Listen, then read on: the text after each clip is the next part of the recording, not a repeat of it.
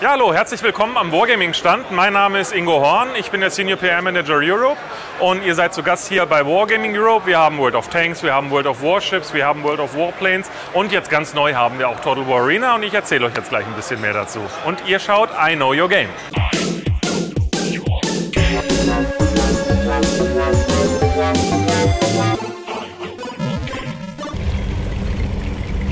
One fall day in 1940, we knew Britain was impregnable, protected by the sea, and defended by brave souls on every clifftop.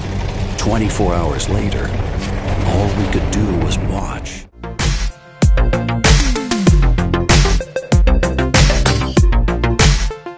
World of Tanks haben wir natürlich auf Multiplattformen. Wir haben sowohl den Mobilbereich mit World of Tanks Blitz, aber der Fokus hier auf der Messe ist auf World of Tanks auf dem PC und auf der Konsole, weil auf der Konsole gibt es Neues zu erzählen. Wir haben zum Beispiel die War Stories released. Das ist nichts anderes als ein Singleplayer-Modus. Das ist der erste Singleplayer-Modus, der überhaupt in irgendeinem der Wargaming-Universen äh, etabliert worden ist. Und da fangen wir jetzt frisch heute um 15 Uhr an. Das heißt, vor fünf Minuten sind wir gelauncht. Wir haben 15 Uhr heute am Dienstag auf der Gamescom. Und ähm, das ist sowohl im Singleplayer kannst du das spielen, als auch im Online-Koop. Das heißt zu zweit. Egal wo du bist, auf der Xbox One, auf der Xbox 360, ab November zum Launch der Xbox One X auch. Natürlich auch auf der PlayStation und auf der PlayStation Plus.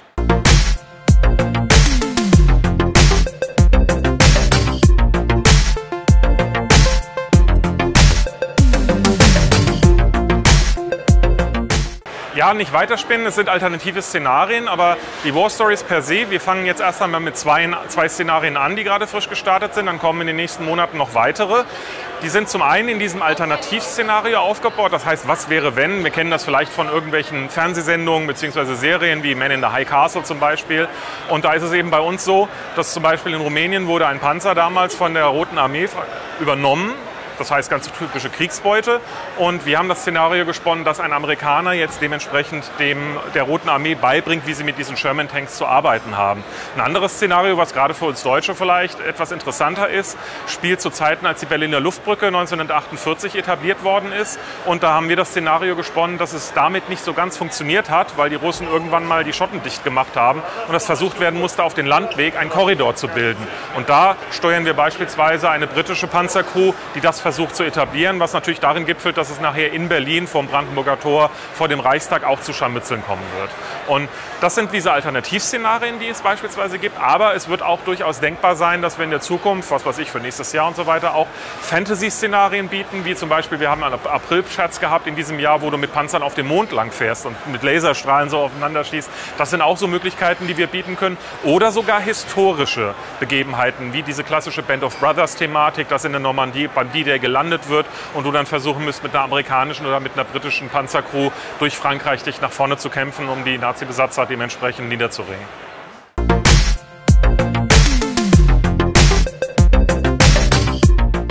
Die Grand Battles wiederum ist auf dem PC etwas vollkommen Neues. Bis jetzt waren ja alle unsere Spiele mit 15 versus 15 im Online.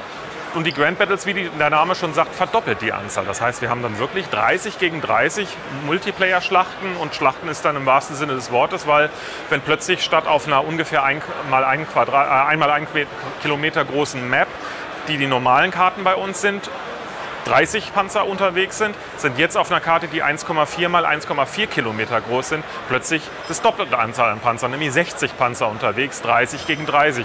Das kann unter Umständen zu einem ganz schönen Gedrängel führen, aber auch wiederum sehr viele taktische Möglichkeiten bieten, weil du natürlich ein wesentlich größeres Areal hast, was dementsprechend beackert werden muss.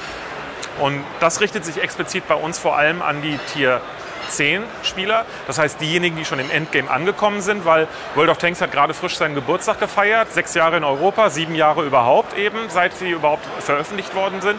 Und dann ist es natürlich schon so, dass von den 180 Millionen Spielern äh, global durchaus der eine oder andere schon am Ende in Anführungsstrichen angekommen ist. Und deswegen sehr, sehr froh und glücklich darüber ist, dass wir in der Lage sind, ihnen auch Endgame-Content zu bieten.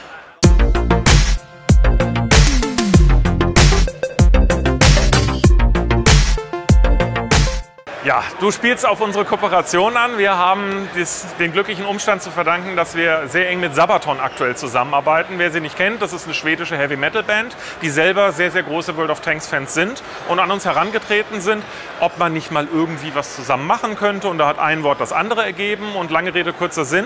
Es ist jetzt gerade aktuell eben der Sabaton Tank. Das ist eine schwedische Abwandlung von einem schwedischen Panzer im Spiel drin enthalten, wo die Band als Crew drin enthalten ist, wo einer der Perks, die wir haben, äh, Waffenbrüder, der eigentlich als Faust dargestellt ist, als Pommesgabel dargestellt wird. Also es sind auch solche netten Anspielungen an, die, äh, an Heavy Metal und Rock dementsprechend mit drin beinhaltet. Und wir haben das große Vergnügen, eben Sabaton bei uns auch am Stand begrüßen zu können, am Publikumsstand. Das heißt, jeder, der dieses Video vielleicht vor Mittwoch 19 Uhr zu Gesicht bekommt, der kann bei uns dann dementsprechend am Stand Sabaton sehen, gemeinsam mit Akira Yamamoto, der den Soundtrack für Silent Hill beispielsweise geschrieben hat, weil der ist auch ein World of Tanks Fan und der steuert auch Musik für World of Tanks bei und der spielt gemeinsam gemeinsam mit Sabaton bei uns auf der Bühne.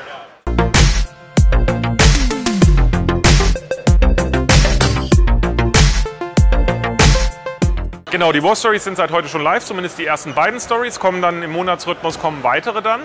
World of Tanks auf dem PC, die Grand Battles werden Ende diesen Monats, ich glaube am 30. August, um genau zu sein. Welche Uhrzeit kann ich gerade nicht auswendig sagen, aber ich meine, es wäre auch sowas um die 15 Uhr herum, werden die auf den Servern gelauncht werden. Das heißt, dann habt ihr auch da draußen die Möglichkeit, die beiden Spielmodus anzuspielen.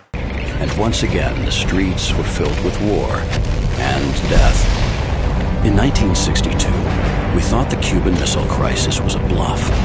It was bravado, playground bullies flexing their muscles. No one would ever push the button. Then one day in October that year, someone did push it. An island paradise was turned into the epicenter of all-out thermonuclear war, threatening our very existence. These are our stories. Now, it's your turn.